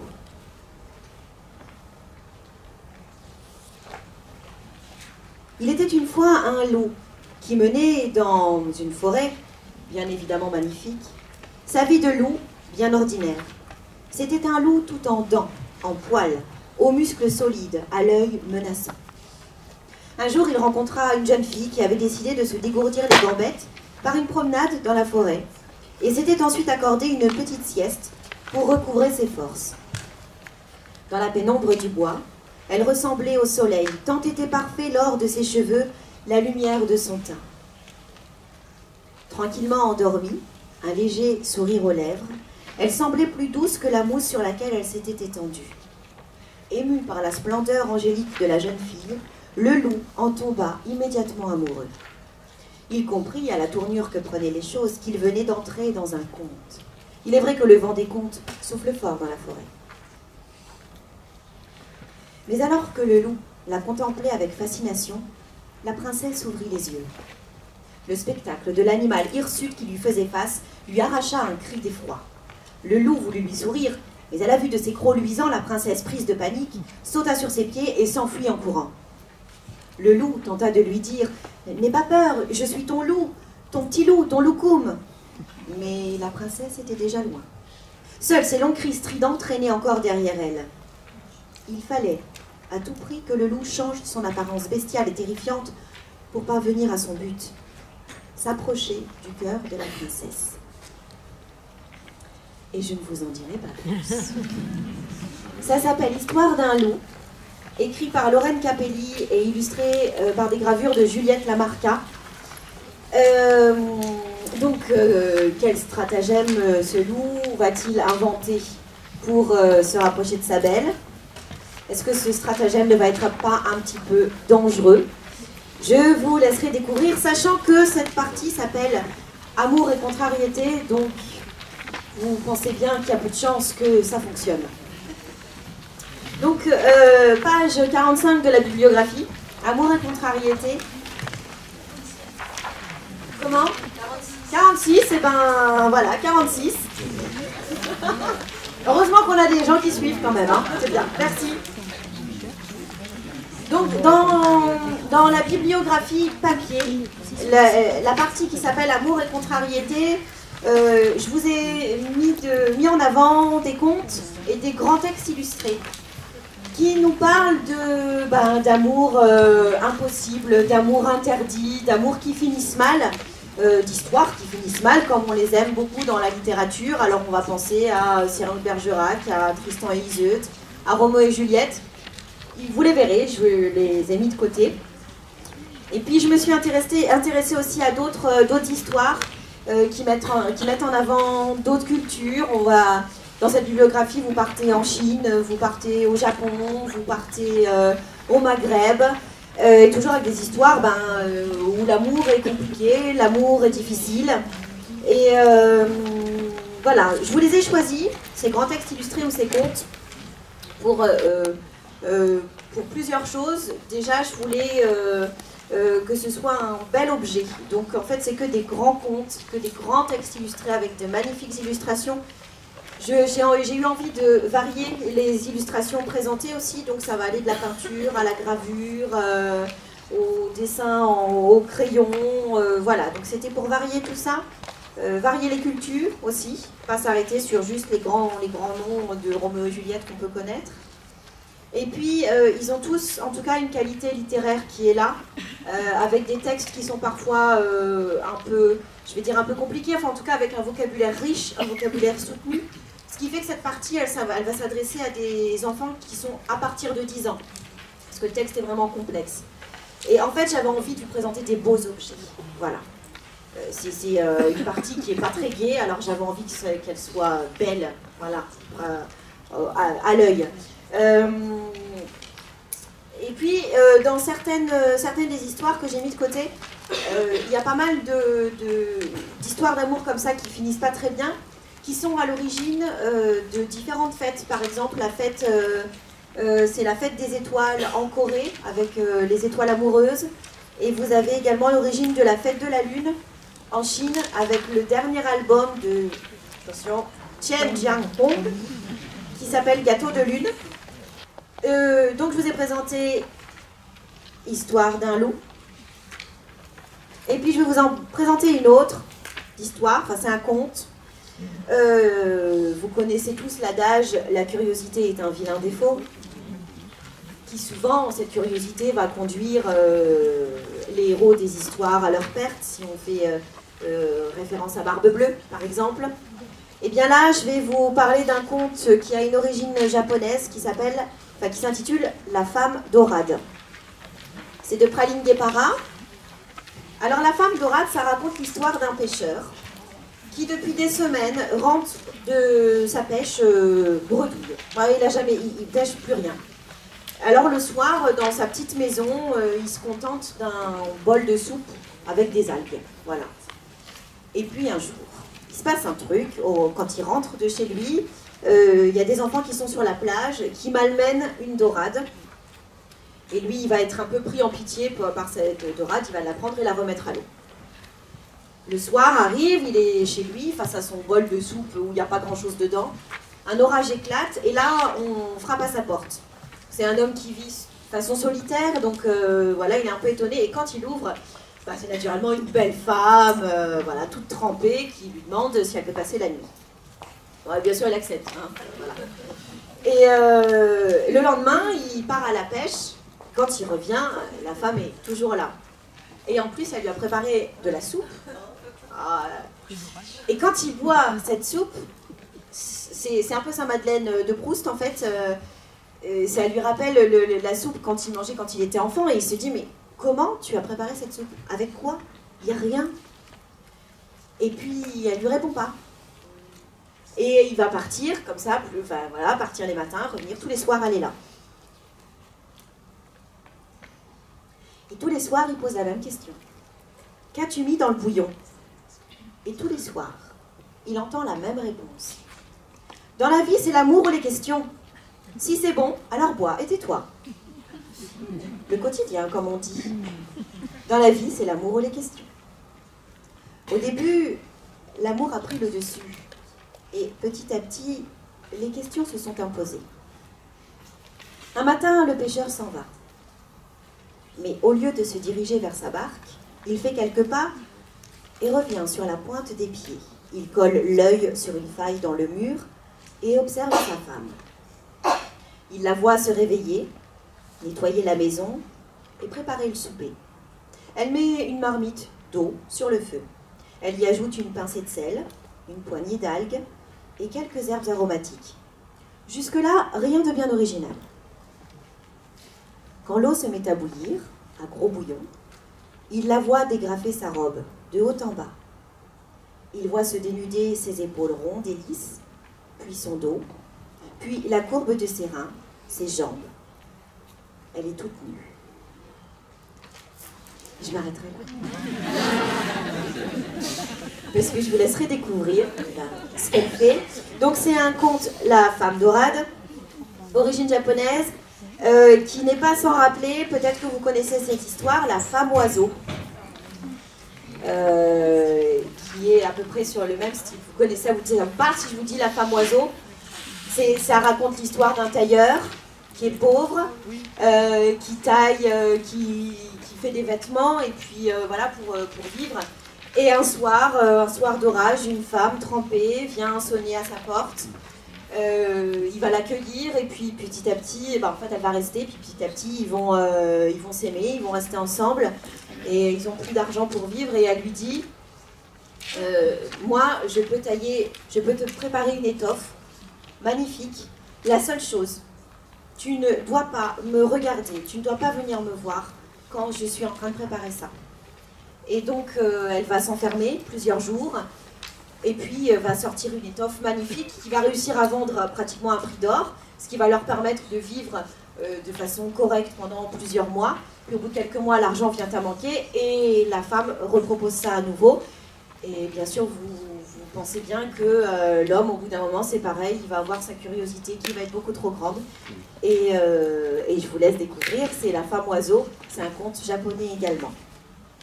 Voilà, Euh, donc c'est ce que je peux vous dire, donc ça s'appelle Amour et contrariété, je vous en présente que deux, plus un peu La femme oiseau, voilà. Euh, on, on pourra en parler tout à l'heure. Et maintenant, alors deux secondes, deux secondes, on me dit derrière, parce que voilà, ça allait à du direct encore. Euh, donc je vais, c'est bon ou faut que je brode encore plus? Ah c'est bon. Donc je vais laisser la parole à une nouvelle venue qu'on ne vous a pas présentée tout à l'heure parce qu'elle arrive en retard et qui s'appelle Betty Iglebop. Bonjour, bonjour. Donc euh, je suis Betty Ingledrop et je suis votre nouvelle art thérapeute. Alors, euh, moi, on m'avait dit que j'aurais 5 élèves, là, euh, c'est beaucoup plus quand même. Mais bon, on va y arriver, vous inquiétez pas. Alors, je vais vous proposer un petit atelier d'art thérapie. Vous allez voir, c'est très facile. Et ça, ça va vous faire du bien, ça va vous libérer. On va libérer vos peurs. Alors, toutes vos peurs. Euh, alors, vous avez eu ce matin dans les petits documents qu'on vous a mis, vous avez une feuille de papier à 4. Ah, eh bien, c'est le moment. C'est le moment de la sortie. Alors, je vais prendre les miennes. Est-ce que tout le monde a sa feuille Voilà. Attention, là, hein. c'est la surgée, hein, c'est la surgée du lycée. Comme quand je démarre, elle, elle- elle- elle est souvent dans mes cours, en fait, et ça l'intéresse, je pense qu'elle a besoin d'art thérapie aussi. Alors, euh, on prend sa feuille et on va faire un, on va faire un pliage. Alors, si mais après, j'arrive de ah, bon, euh, je vais leur expliquer ce qu'on va faire. Donc, on va faire un petit pliage, on va, on va faire un avion. Vous allez soit écrire votre peur, votre plus grosse peur, vous allez l'écrire sur la feuille ah, avant, ou alors vous, vous allez la charger. Hein psychologiquement, vous allez dire, euh, ma peur, je la, mets, je la mets sur la feuille. On va faire l'avion, et puis après, on va lancer les avions, et on va libérer nos peurs. Elles vont s'envoler, s'envoler, et vous allez voir, vous allez vous sentir nettement plus léger, nettement. Ça marche très très bien. Alors, pour le pliage, je, comme j'ai deux mains, je vais parler très fort. Et comme je ne suis pas très douée au niveau pratique, euh, faut être un nul. Vous avez le dessin si mes explications ne sont pas très claires. Quand on s'est entraîné avec Florence, ça a donné un résultat très, très particulier. Je sais pas si c'est les explications qui n'étaient pas bonnes ou moi qui n'étais pas douée. Je ne sais pas. Je veux pas dire, vous arrive et... Ouais, enfin bon, ça va, hein On fait l'avion kamikaze. C'est l'avion kamikaze pour faire partir les peurs, c'est bien. Alors on commence par prendre la feuille dans sa verticalité, on la plie en deux.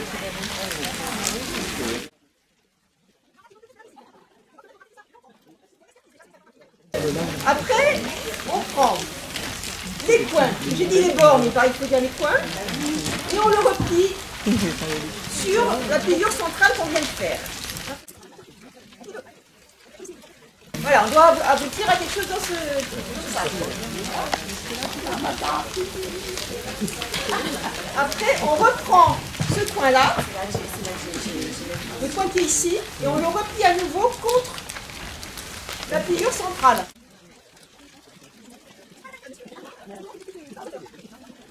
Et là, on doit arriver à quelque chose comme ça. Est-ce que ça va Est-ce que moi je vous montre Est-ce que Anna, elle explique bien Comment ça Euh, C'est moi la nouvelle thérapeute. Là, c'est mon assistante.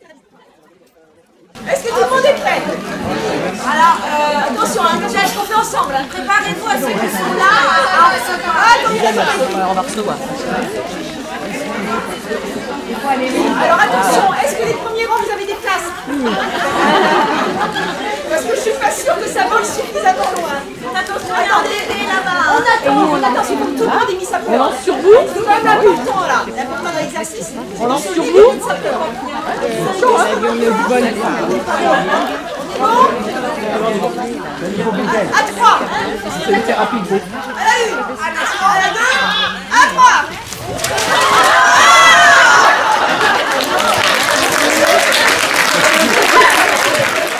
Cette jeune Betty, donc c'est la nouvelle thérapeute du lycée euh, Princesse Margaret et qui a dans son atelier des jeunes gens, des adolescents euh, blessés par la vie, vraiment blessés par la vie. Je vais vous les présenter rapidement.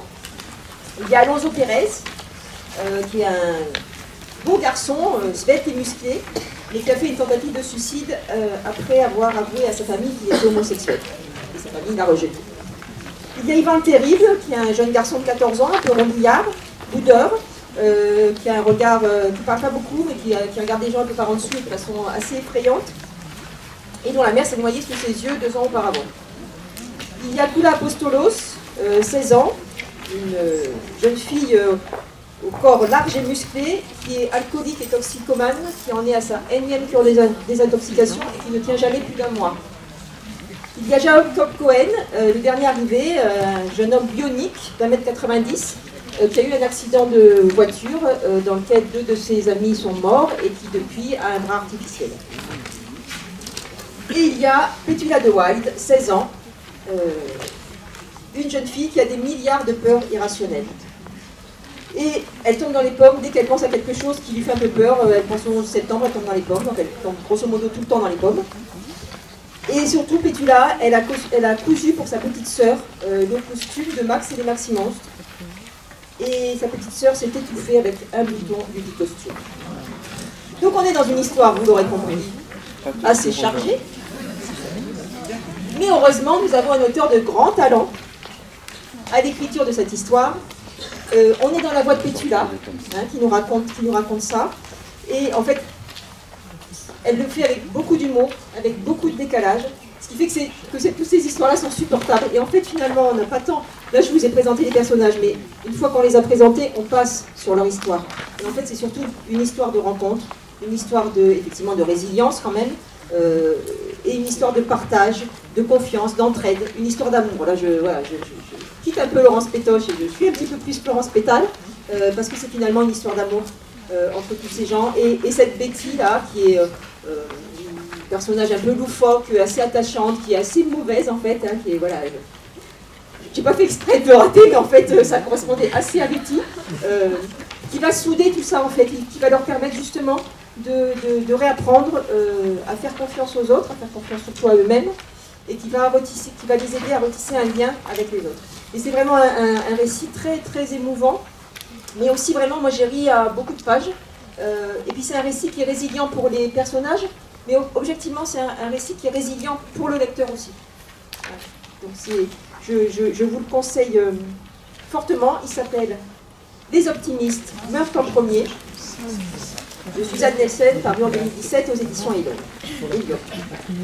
Alors on va rester dans des histoires d'atelier si, si, Florence arrête de discuter avec sa copine.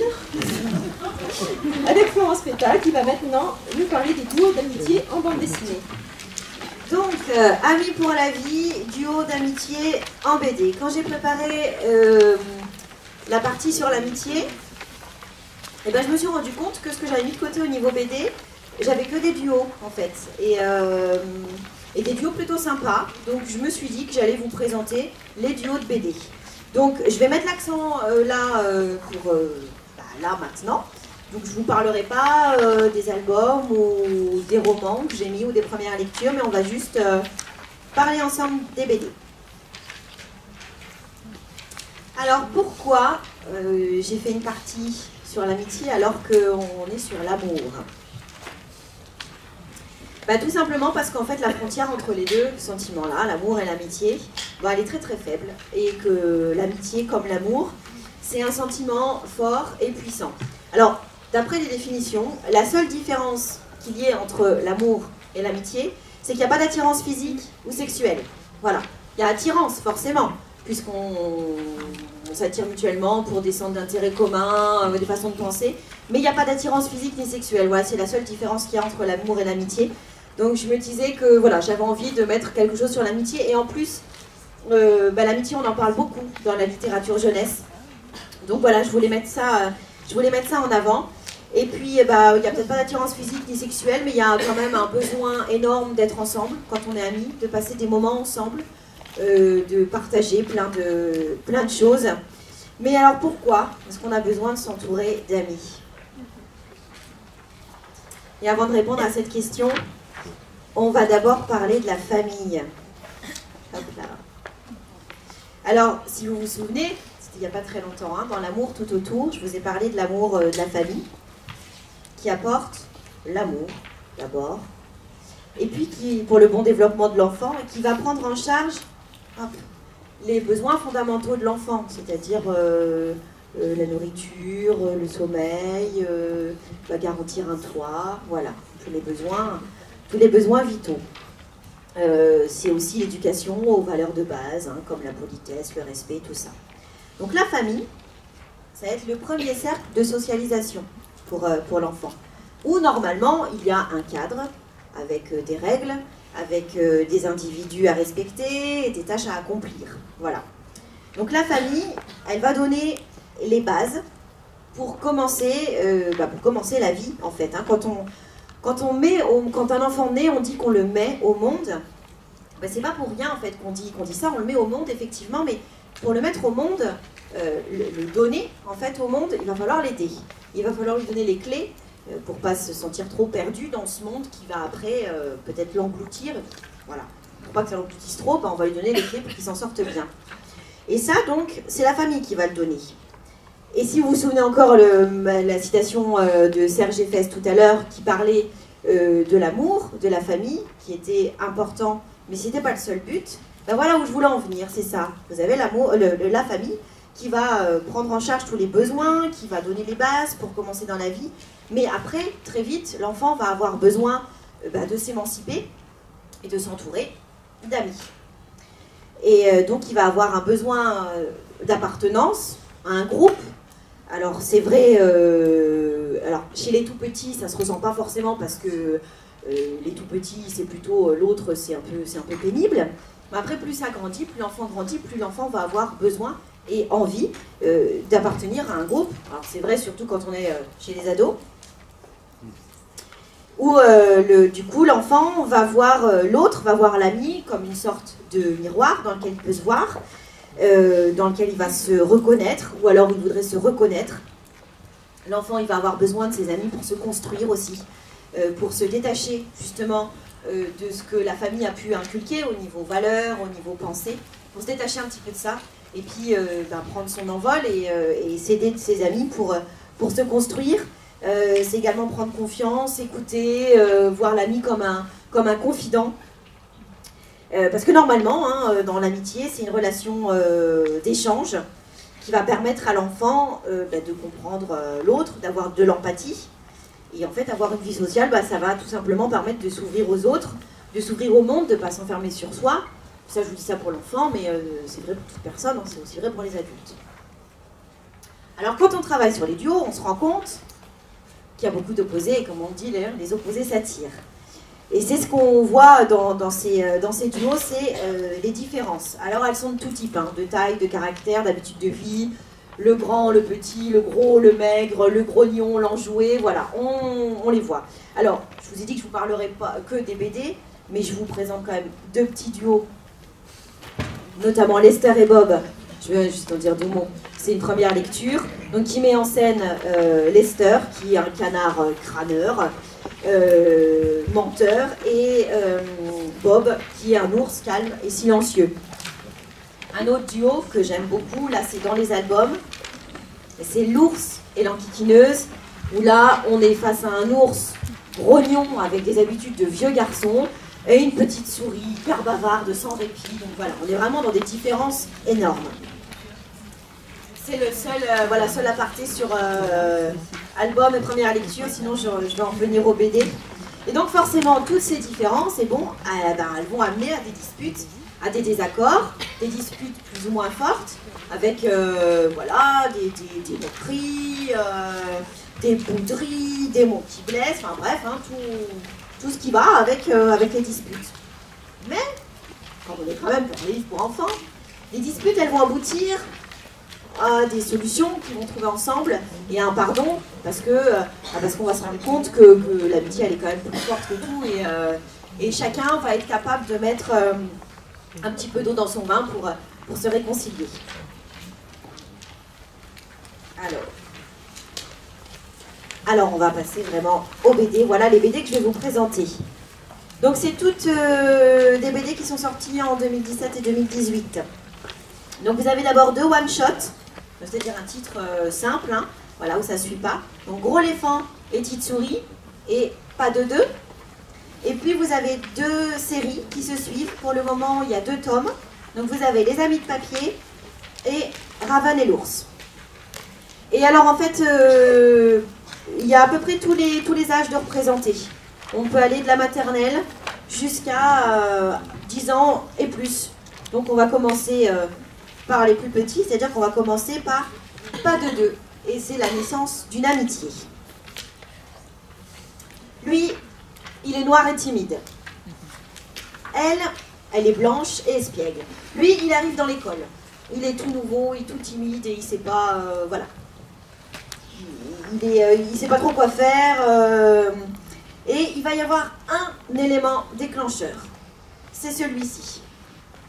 Une souris verte qui va passer devant les deux enfants qui sont à la sortie de l'école et elle passe devant eux à toute berzingue. Du coup, bah, ni une ni deux, même s'ils se connaissent pas trop, bah, ils vont courir après la petite souris verte. Donc on a une jolie, un joli petit clin d'œil à la comptine euh, que vous connaissez tous, hein, la souris verte, sauf qu'on la voit un petit peu différemment. Et euh, alors c'est une BD sans texte, c'est les éditions de la Gouttière, hein, ils savent faire ça très très bien.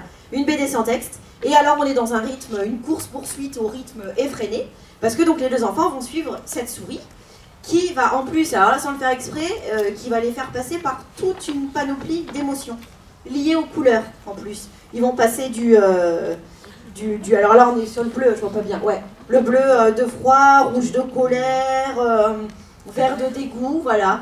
Donc on est euh, à la fois sur cette petite comptine traditionnelle et puis on joue comme ça sur, sur les couleurs et sur les différentes émotions. Donc voilà, naissance d'une amitié parce que je ne sais pas s'il y en aura d'autres, il y aura peut-être d'autres aventures, mais en tout cas on voit l'amitié qui, qui naît. Au début c'est pas gagné hein, parce que à un moment donné, lui, alors on n'a pas les prénoms non plus, hein. lui il, il tient la souris, en fait il lui marche sur la queue pour pas qu'elle parte. Et elle, franchement, ça la. elle n'est pas d'accord du tout. Donc elle lui met un gros coup de pied dans le tibia. Donc on se dit qu'effectivement l'amitié, elle est pas. c'est pas gagné. Et puis finalement si. Et donc je vous laisserai découvrir pourquoi et comment. On va passer sur un autre duo. Improbable amitié.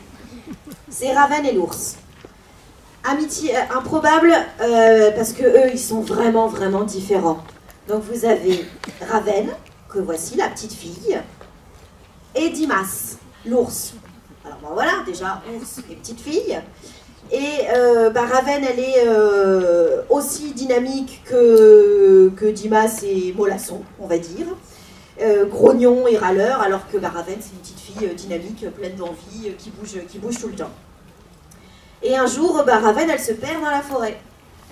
Euh, elle retrouve plus ni sa maison, ni ses parents. Donc, euh, par contre, elle voit une grotte dans laquelle elle rentre et euh, bah, elle tombe sur Dimas. Et elle lui explique son problème.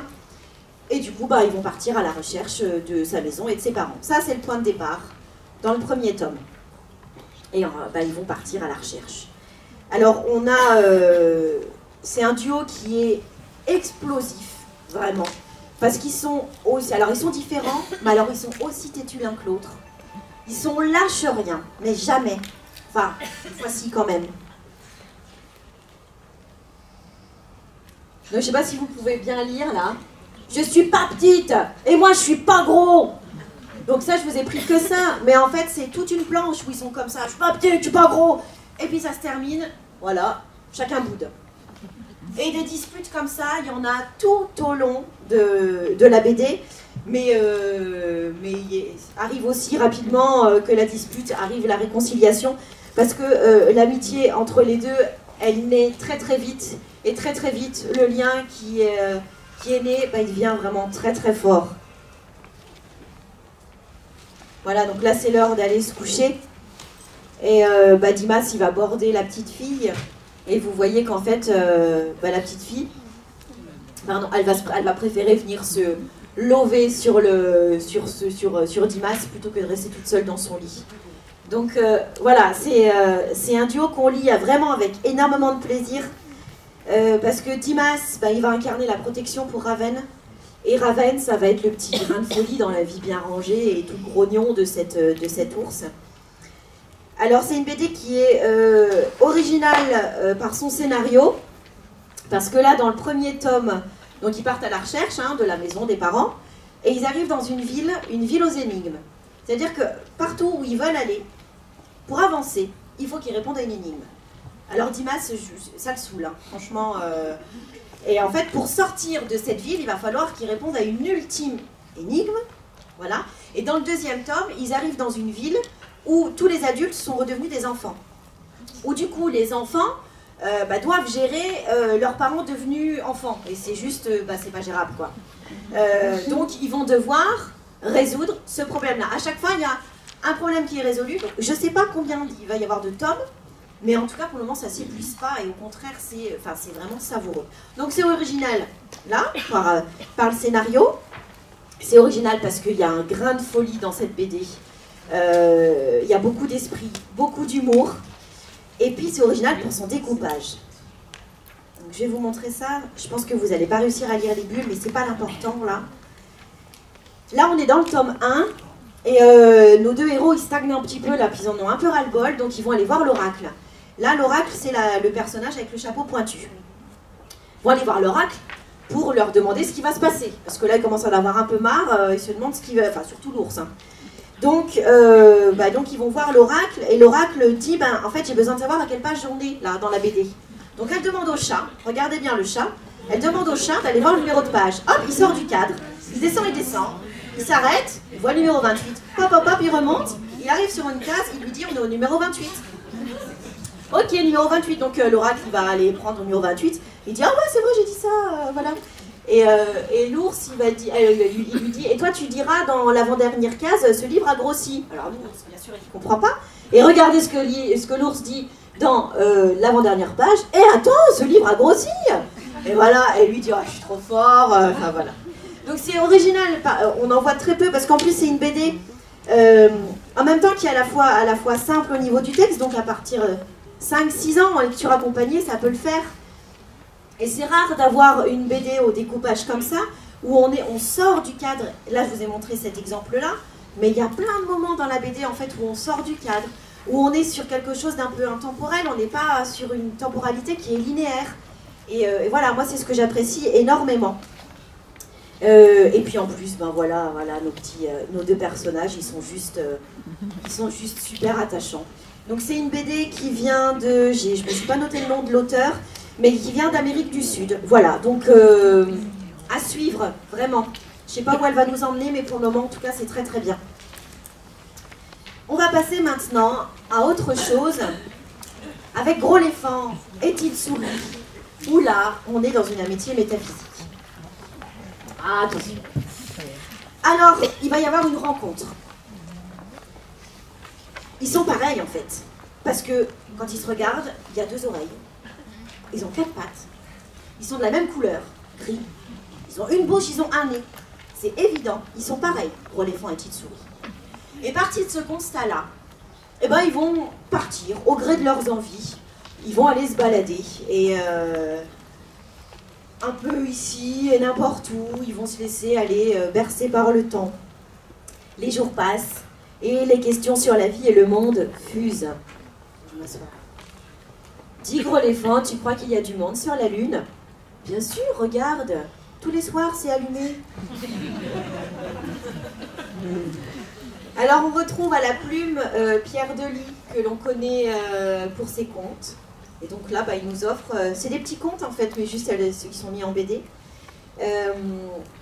Donc, c'est une BD où sont évoquées ben, la communication, l'amitié, parfois la difficulté de vivre ensemble, mais surtout, surtout, le plaisir de partager des moments et des choses ensemble. Du second degré, de l'humour. Ils sont sur une, euh, un petit lac sans doute gelé. L'éléphant demande dit, elle est solide? Et la petite souris, mais oui, je suis dessus, viens Ah, ben, Moi, je trouve c'est juste savoureux, ça. Elle est illustrée par euh, Ronan Badel, qui est un illustrateur euh, qui fait à la fois illustration de- de- d'albums, de, textes illustrés, qui écrit aussi. Et euh, voilà, avec, je ne sais pas si vous pouvez bien voir, mais vous pourrez prendre le temps de regarder de plus près. Quand vient la nuit, les questions empêchent le marchand de sable de passer. Dis, gros éléphant, est-ce que tu as peur de moi? Attends, je réfléchis. Bah non, pourquoi je devrais? Bah, Parce que tout le monde dit que les éléphants ont peur des souris. Ah bon? Attends, je re-réfléchis. Ah bah non, toujours pas. Et pourquoi? Tu trouves que je ne suis pas une vraie souris, c'est ça? Hein? Bah attends, je re-re-réfléchis. Bah si, t'es une vraie souris comme moi, je suis un vrai éléphant. Alors tu devrais avoir peur de moi. Tout le monde dit que les éléphants ont peur des souris. Bah attends, je re-re-re-réfléchis. Bah non, j'ai toujours pas peur. je connais pas tout le monde. Et peut-être qu'il se trompe. Tandis que toi, je te connais et je peux pas avoir peur de toi puisque tu es mon ami. Et je ne peux pas avoir peur de mon ami sinon c'est pas une amie, c'est ça. Voilà. Et donc tout le toute cette BD, bah, c'est toutes des petits questionnements comme ça sur, sur la vie, sur le temps qui passe, sur euh, le fait de vieillir, sur le temps qu'on passe ensemble, sur l'amitié. Enfin bref, c'est des questions sur la vie en général, avec ce, petit brin euh, d'humour et de second degré euh, euh, que je trouve un véritable petit régal. Et euh, je vais terminer mes duos avec un autre duo, euh, Les Amis de Papier. Qui, c'est donc, euh, on a deux BD pour le moment, deux tomes dans cette BD, qui se suivent. Ça se termine pas, se termine pas au deuxième, mais je sais pas en combien ça va être, ça va être fait. Donc c'est l'histoire de May, que voilà, et Charlotte. Euh, toutes les deux, elles ont 11 ans et elles vont se rencontrer. Malheureusement, c'est le dernier jour de leurs vacances. Par contre, elles vont largement avoir le temps de se rendre compte qu'elles ont plein de choses en commun. Euh, même si elles ont des caractères euh, différents, donc elles ont déjà l'âge, puisqu'elles ont 11 ans, le lieu de vacances. Et puis en fait, elles ont reçu, chacune, chacune a reçu un papier à lettres en cadeau. Une pour, pour son anniversaire et l'autre pour sa fête. Alors il y en a une, elle a reçu un papier à lettres avec des chats et l'autre un papier à lettres avec des chiens. Se demandent, quand elles ont eu le cadeau, elles se sont demandé un peu ce que- ce qu'elles ce allaient faire. Et puis donc elles passent cette journée ensemble, elles se rendent compte que bah voilà, elles ont plein de choses en commun et, elles n'ont pas envie de se séparer comme ça. Et comme Charlotte, elle vient d'emménager et qu'il n'y a pas encore internet dans la maison où elle est, ben elle propose à May de s'écrire sur leur papier à lettres. Ben qui servent, servent ce si joli papier à lettres, hein, pas vrai? Tu veux qu'on s'écrive sur du papier, comme les vieux? Et c'est là où je trouve que cette BD, elle est originale et elle est audacieuse. Parce qu'à l'heure des réseaux sociaux, à l'heure d'Internet, eh ben, euh, les auteurs, ils osent nous proposer une euh, BD, une vraie BD épistolaire, parce qu'elle va être découpée entre euh, des planches avec des vignettes et des bulles, comme une BD normale, mais il va y avoir les lettres aussi. Parce qu'elles vont effectivement se servir de leur, de leur papier à lettres, et effectivement, elles vont correspondre. Et donc, on a, on a les lettres qu'elles s'écrivent, et, euh, et on va les suivre tout au long de leurs lettres. Euh, avec leurs émotions, avec euh, ce qu'elles ressentent, avec leur caractère. On va voir leur, leur relation évoluer, devenir plus fort au jour le jour. Voilà, c'est simple, c'est efficace, c'est touchant. Moi, j'ai trouvé ça plein d'émotions. Et, voilà, à l'heure où on s'écrit plus, bah, je trouve ça assez rigolo de retrouver, de retrouver des lettres papier. Voilà. Alors vous trouverez dans la bibliographie d'autres euh, amitiés, mais je ne peux pas vous parler de tout. Euh, J'ai mis aussi bien des albums que des romans, que des premières lectures. Et en fait, euh, le choix s'est uniquement porté sur des titres que j'aimais bien. Parce que j'avais pas envie de m'embêter avec des trucs que j'aimais pas.